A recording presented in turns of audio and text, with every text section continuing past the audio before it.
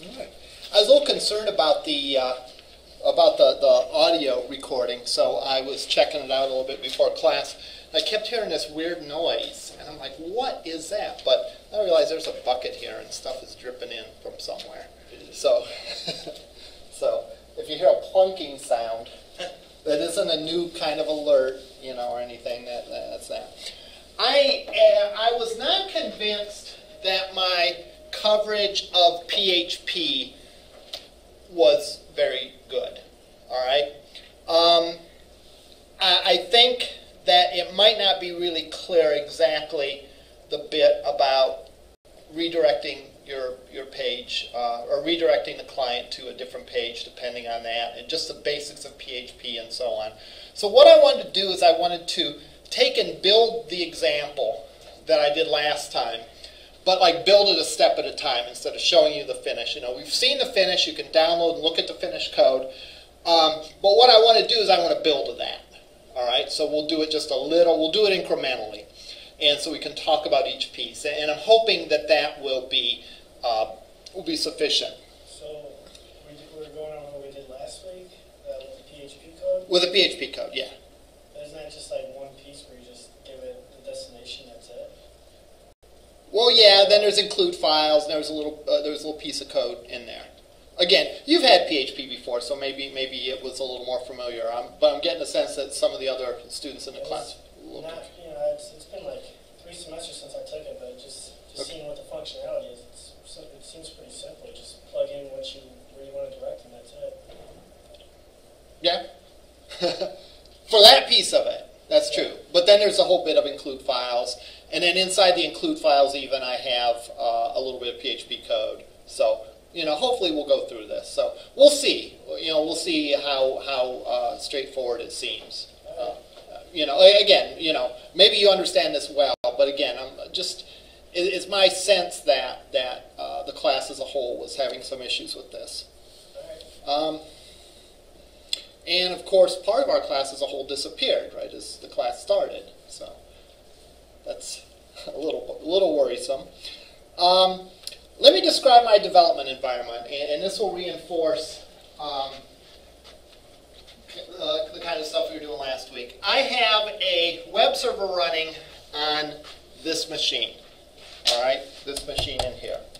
So there's a web server running. Either they fixed it or whatever problem I was having last time isn't there anymore. So we're going to spend a few minutes and we're going to look at uh, a little bit about the web server setup, all right, and my development environment. Then I'll do a PHP piece. Then I'll move that PHP piece up to the actual server, and so that we can test it there. All right. So let's start out by looking at the web server. Yeah. This particular web server is Microsoft's IIS. So, IIS stands for Internet Something Services. I'm not sure what the other I stands for. Let's go and let's look at the web server because, again, the class's focus isn't this, but like the more you know about this stuff, the, the better off you are. So let's go and look at um, uh, the web server. So, uh, under, let's see, under administrative tools, Internet Information Services. All right, so I will go into that. And this is sort of the, the manager for our web server.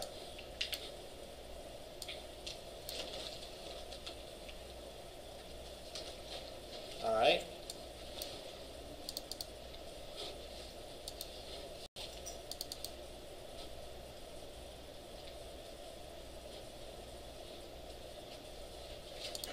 Try this one instead. There we go. This is the one that's actually installed and running. I'm not sure why they have two shortcuts here. Um, all right. This is our machine. All right, BU205 AM40 whatever. All right. If I click on that, I can actually um, manage several different websites uh, from this one machine, from this one web server. Any idea how you would manage multiple websites from one server? How would you handle that? Put in their own folders. Well, we put them in our folders, but how would you make it so that you would have two domains? Let's put it that way. www.mz1, www.mz2. Not have different folders within the server, but to have um, two actually totally different websites. The way you do that is you can change the port from the default. If we look at the properties of the default web server,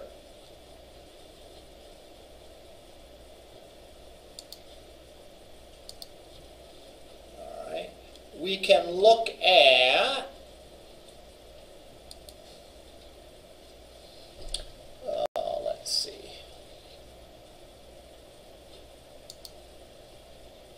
Some settings. All right. Concerning this.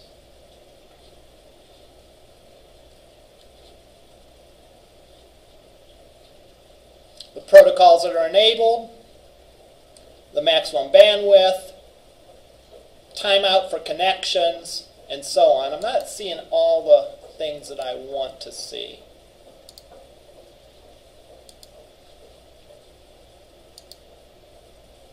Edit permissions? No, not that one.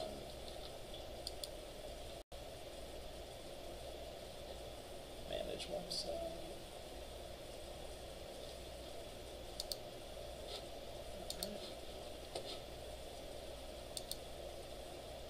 There we go. Here's some of the things that I that I want. We can look at, at some of these um, over here. First thing that we have is we have the web server's default directory. All right. For example, you go to www.google.com or any URL. All right. It brings up a page. How does it know what page to bring up? Well, the web server has a default directory set up where it will start looking for pages in that folder. And in this particular case, the default directory is the system drive, which is drive C, C, inetpub, www root. So if we look at, go just go through regular Windows Explorer,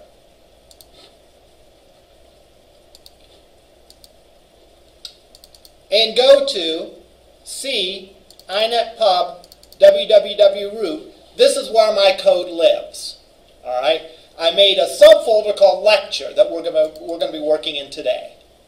So to access this, this is in the web server's root directory in a subfolder called lecture. So how would I access this page? How would I what would I type in the browser to make this work? Well, What's the name of my web server? We're not, we don't have a domain registered, right? So it's not www.bu105 or whatever. It is localhost. The word localhost means the web server running on your own machine. So, localhost slash will take me to the files in the web server's root folder. All right? But we don't want the web, uh, files in the web server's root folder we want the files in the subfolder called lecture. So I'll type in the name of that subfolder, and then the name of the file that I want is called index.php. And that brings up this little PHP page that we'll look at in a second. Okay. So again, it's through the web server configuration that we specify where we're going to put these files. All right. The default website is going to be, the files for that is going to be in C, INET, Pub, www right.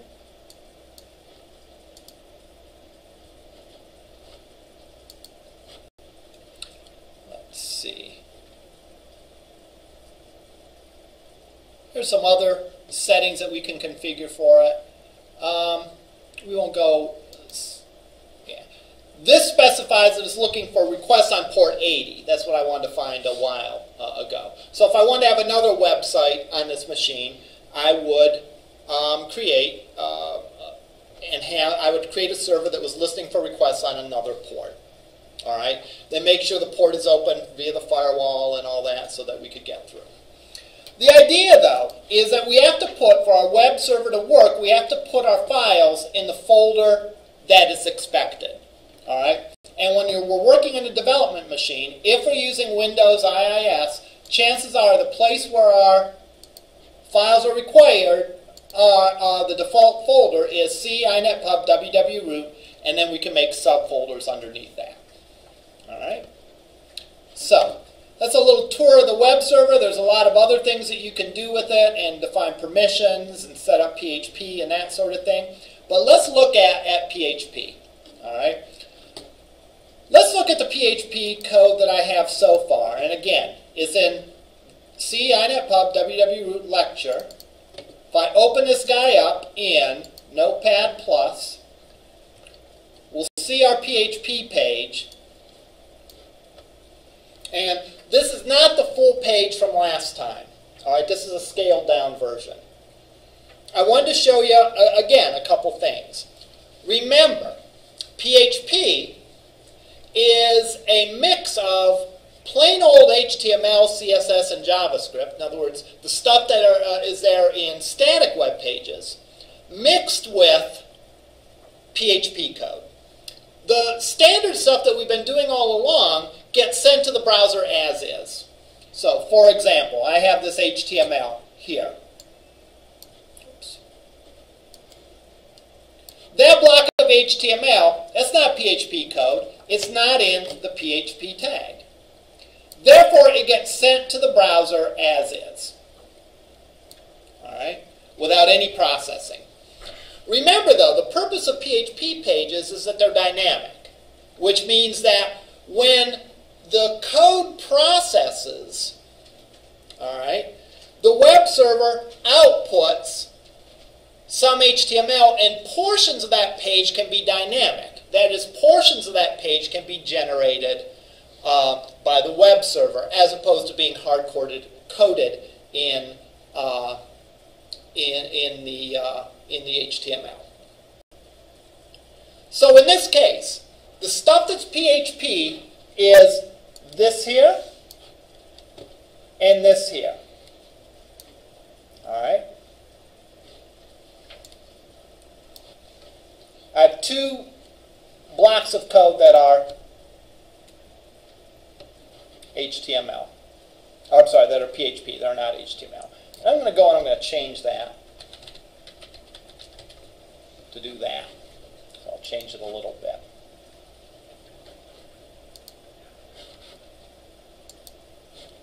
All right. Let's look at this code and see what it does.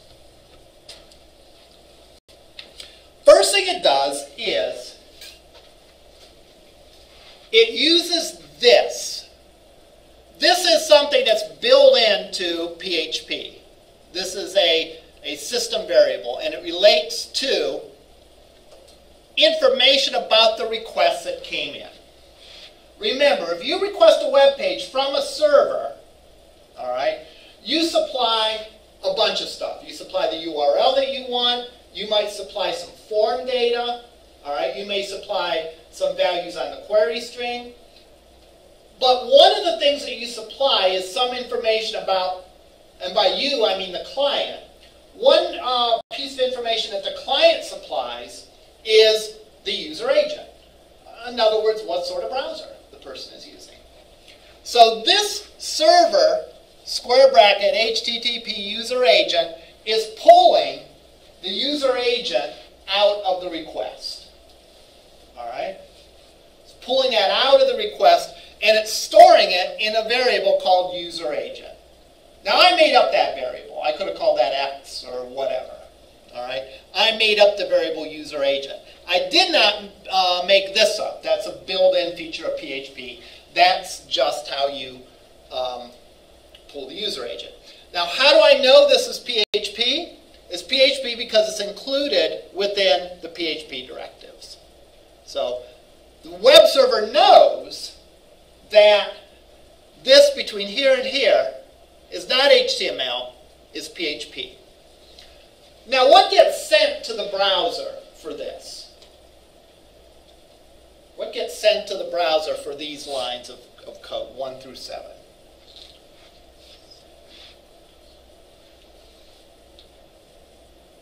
Uh, well, well, the, uh, the, the browse, the, the, how should I say it here? How, it- I, I see that line of text, it's saying how it's being viewed. Um, Which line are you talking about? um, You, you said that, that, that, uh, that it's stored as a variable, but Yeah. the variable then appears listed intentionally when you view the real page later on. Okay, all right. But I guess my question is, is what do these lines send to the browser? And you might be heading in the right direction, because it's a little bit of a trick question. These lines of code don't send anything to the browser, right?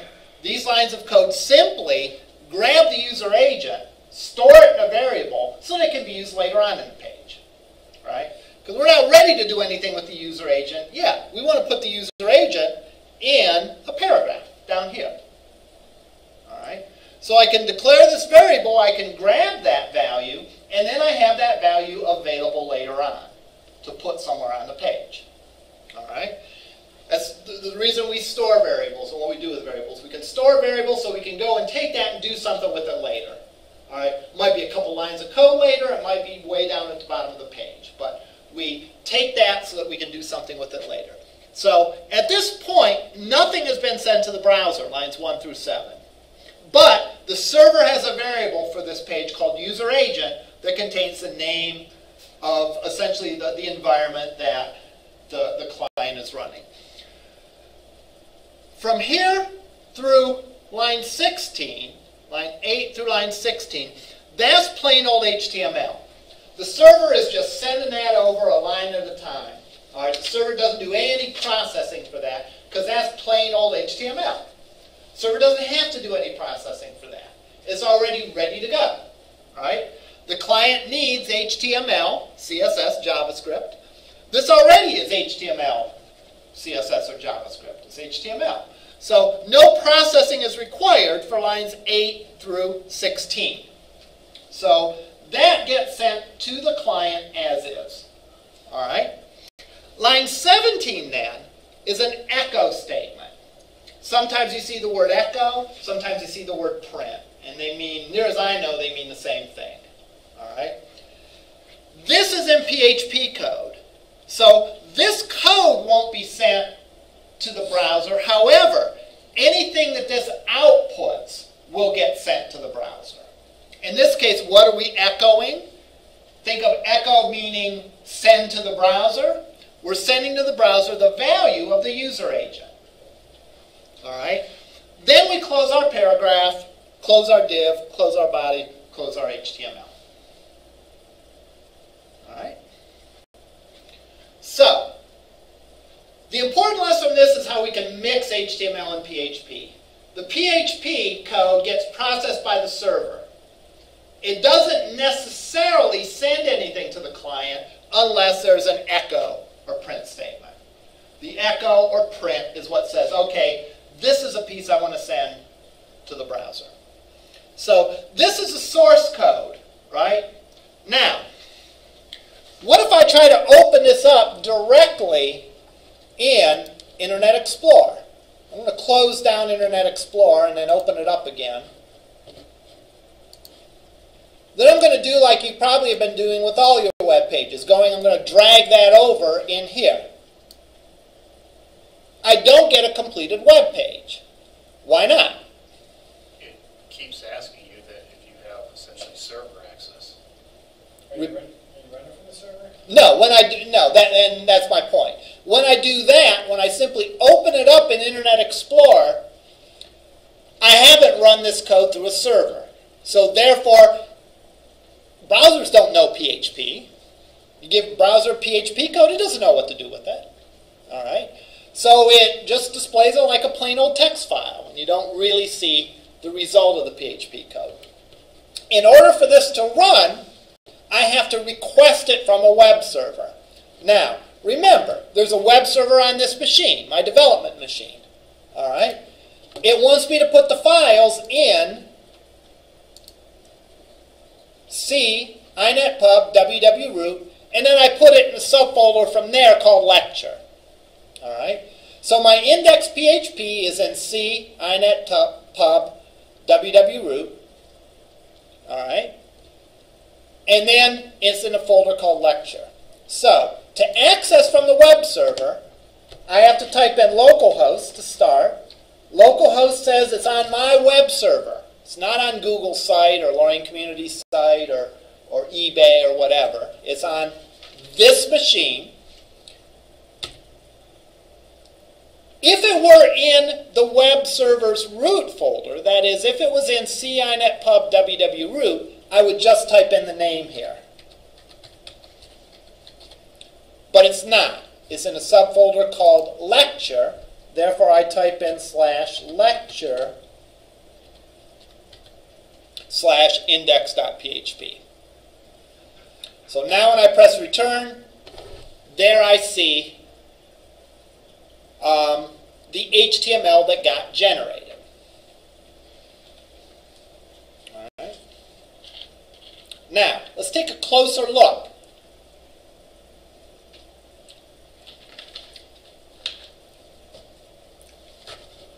I'm going to ask a question here.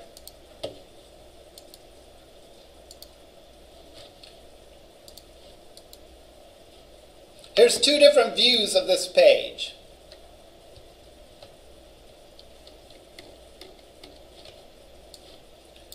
They both say CI, they, they both say index.php.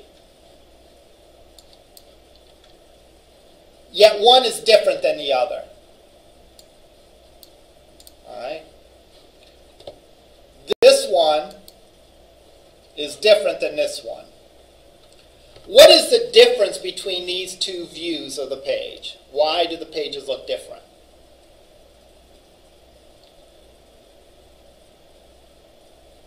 The one is using a media query, the other one's using the browser's.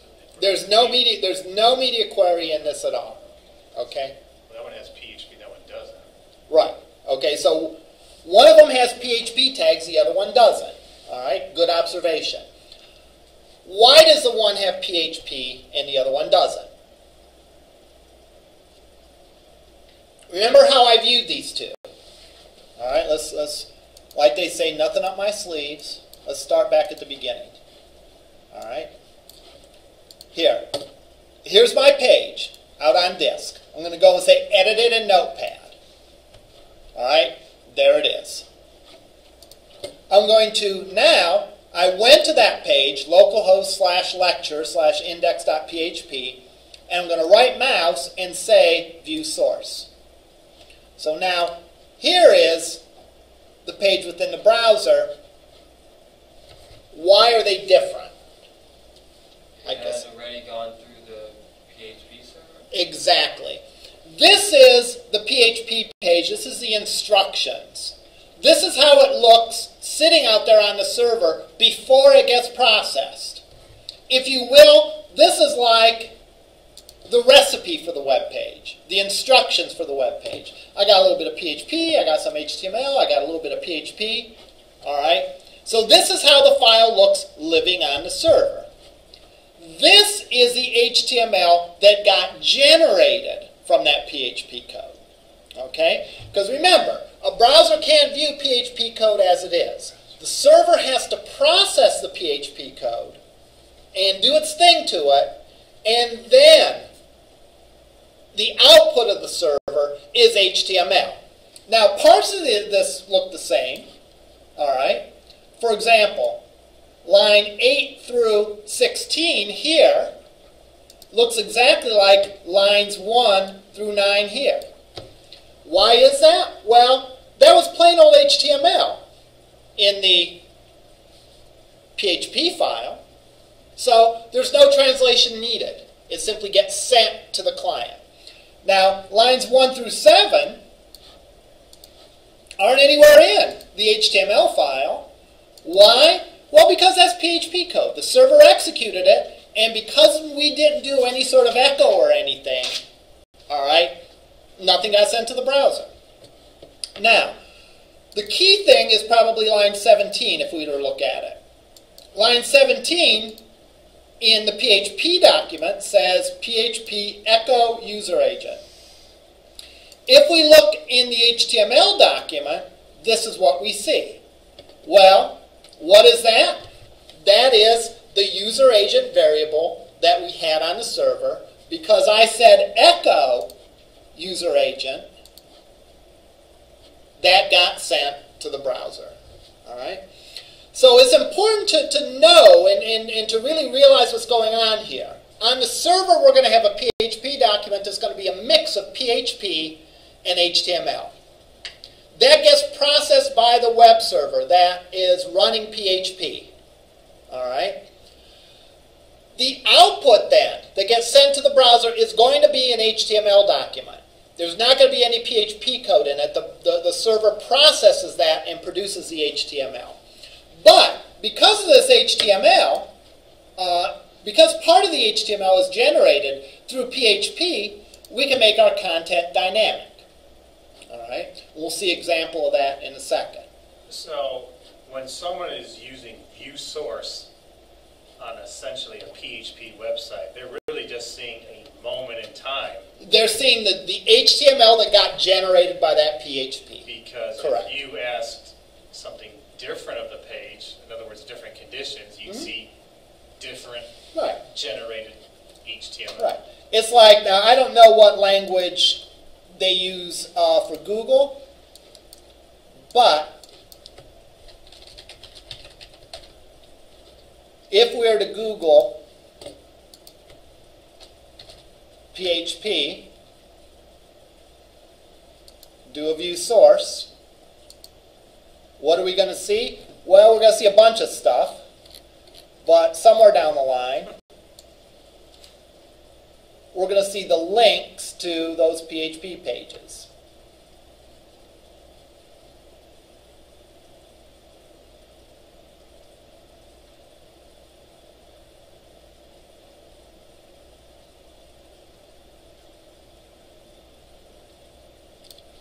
All right.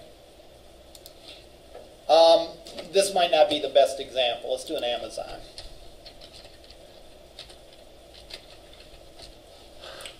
Let's go to Amazon and let's search for the Beatles.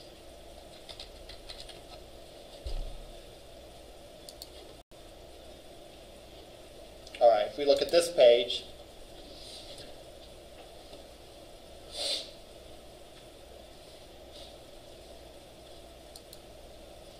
and do a view source.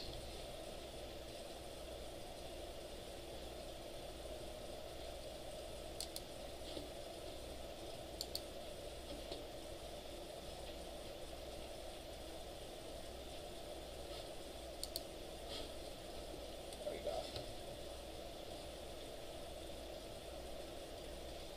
Maybe.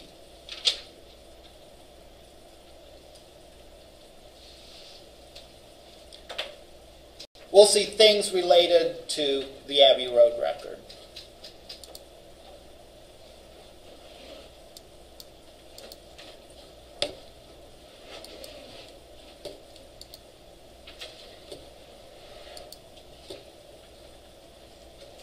Maybe.